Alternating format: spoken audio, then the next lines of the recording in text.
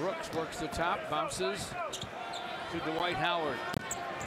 Faces Andre, shakes inside, hooks and hits. He's putting on a clinic.